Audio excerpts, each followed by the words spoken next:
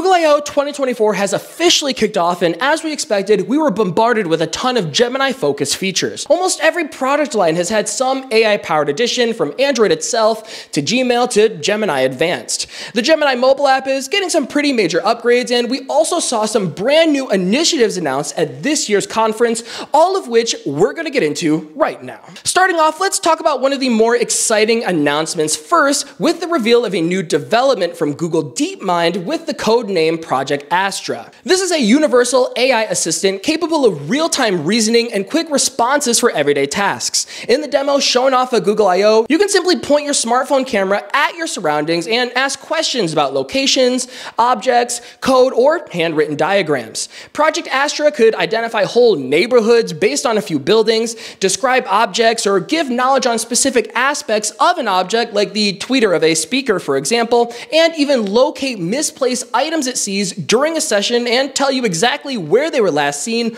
all in real time.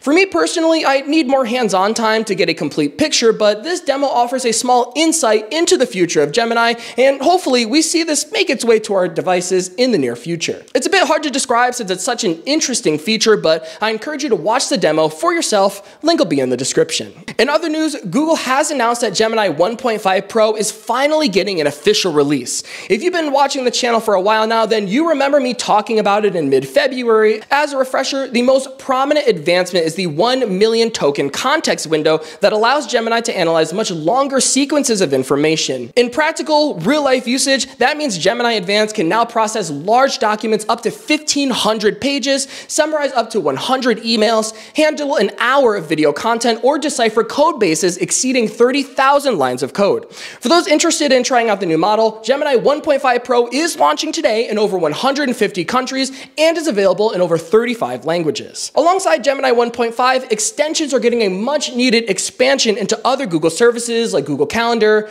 Tasks, Keep, and will expand to a new category of items called utilities like the Clock app in the future. Additionally, YouTube Music finally has an official extension that's launching today where users can search for a song by mentioning a favorite verse or featured artist. All extensions will be available alongside the existing ones and will be free free to Gemini and Gemini Advanced users. Since we're on the topic of Gemini 1.5, it is worth noting the side panel for desktop in Gmail, Drive, and Docs is getting the upgrade to 1.5 with a full release scheduled for next month, but is rolling out to Workspace Labs users today. Some new improvements include a larger context window for more information to be analyzed. The side panel should be better at answering questions in regards to longer emails or drafting new messages that reference information from multiple docs or PDFs in your drive. If you're a Gemini Advanced user, there were a few upgrades to be excited for. Quote, coming soon, users will be able to take advantage of a new feature called Immersive Planner. This feature will act almost like a virtual travel assistant by crafting custom itineraries geared towards your specific needs. And one of the examples shown off today, a user told Gemini they were going to Miami for Labor Day, their son loves art, their husband wants fresh seafood, then asked Gemini to pull flight and hotel info from Gmail to plan a weekend getaway.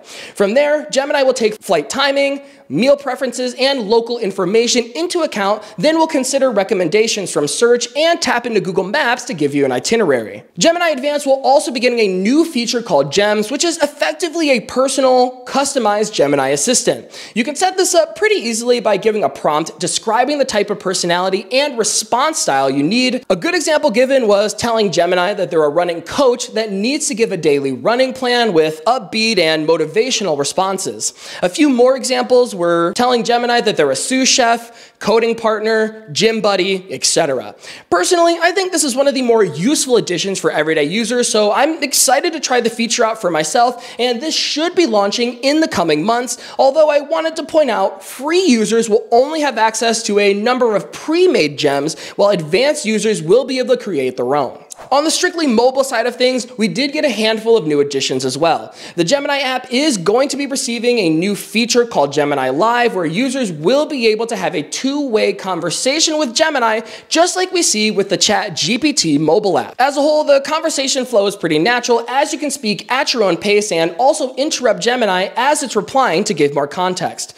This feature should be launched in the coming months. However, down the line, you'll also be able to use Gemini Live with your phone camera, where you can have conversations based on what you can see around you. Google did discuss some of its plans to integrate Gemini deeper into the Android operating system. For starters, Gemini will soon appear as an overlay panel on top of your current application as opposed to opening a full screen interface like it does currently. That overlay will also keep the context of your screen's contents in mind in case you have any questions about what you're looking at. Taking things a step further, using this new Gemini interface in YouTube will show a Ask This Video button and will offer a similar prompt when opening the interface on a PDF. Finally, for our last few features, Gmail for mobile is getting a few new additions like Summarize built directly into the app interface, and more importantly, Gmail for mobile is getting a new Q&A function that takes summarization to the next level by allowing users to ask questions in regards to their entire inbox.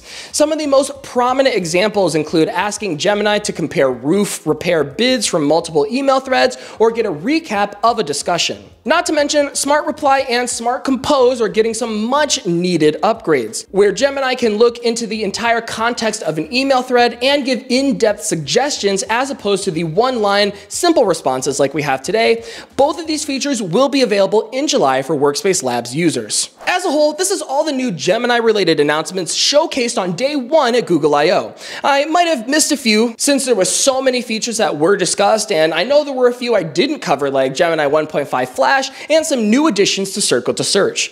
Thankfully, we do have quite a few articles on the 9 to 5 website covering everything new in regards to Gemini, and I will have links in the description so you can check it out for yourself. Overall, I'd say this is a huge week for those interested in Gemini as almost every product category category has gotten some kind of changes, so hopefully this video helps you keep track of everything new. Before we get out of here, huge shout out to all of our channel members on screen right now. Your support helps us cover all the Android news like Google I.O. for example, and we are so grateful for every new and current member that joins our community.